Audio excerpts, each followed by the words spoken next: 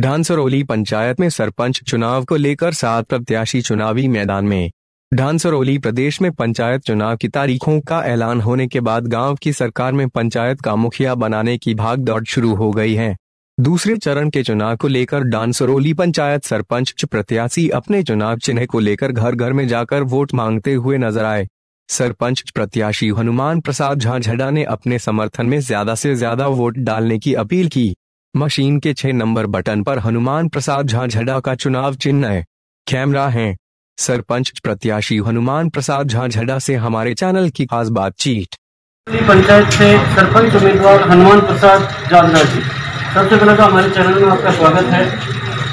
नमस्कार सब भाइयों को राम राम।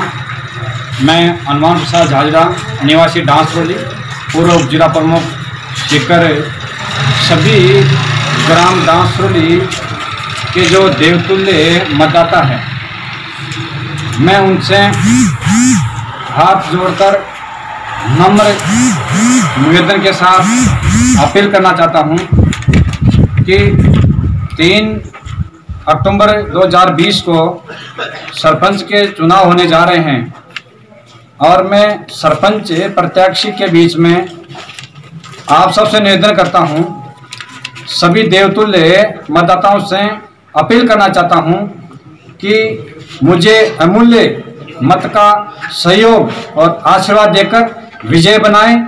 जिस तरह से आपने पहले मुझे उप जिला प्रमुख तक भेजा और मैंने भरपूर अपना विकास के लिए पूरा काम किया, पेयजल, सड़क जितना हो सकता है।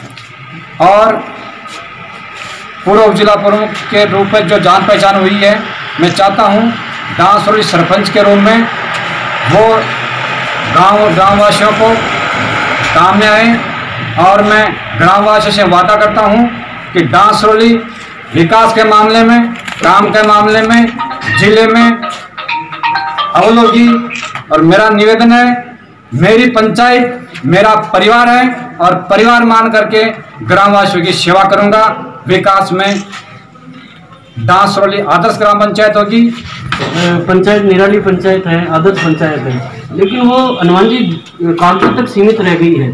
धरातल पर स्थिति आज ये है कि खुले में शौचमुक्त गाँव नहीं हो पाया है। तो इसमें क्या जागरूकता की कमी है? इसके बारे में आपके क्या विचार है? आपकी बात सही है। कुछ पंचायतें कागजों में आदर्श ग्राम पंचायत या निराली ग्राम पंचायत या स्वच्छता के मामले में कागजों में बन जाती है। बाकी भौतिक रूप से धरातल पर यह काम हो नहीं पाता है। इसके लिए आम जन की जागरूकता, सहभागिता ज़रूरी है। विकास के साथ साथ मैं चाहूँगा कि सरपंच बनने के बाद में आम जन की प्रत्येक कार्य में पूर्ण रूप से सहभागिता होगी। आप अपने मतदाताओं को समस्त ग्राम पंचायत डांसरोली को क्या संदेश देना चाहेंगे? नमस्कार सभी डांसरोली ग्राम के देवदूत तुल्य मतदाताओं से अपील और निवेदन करना चाहता हूँ कि मैं डांसरोली से हनुमान प्रसाद झाजरा सरपंच का उम्मीदवार हूँ प्रत्याशी हूँ।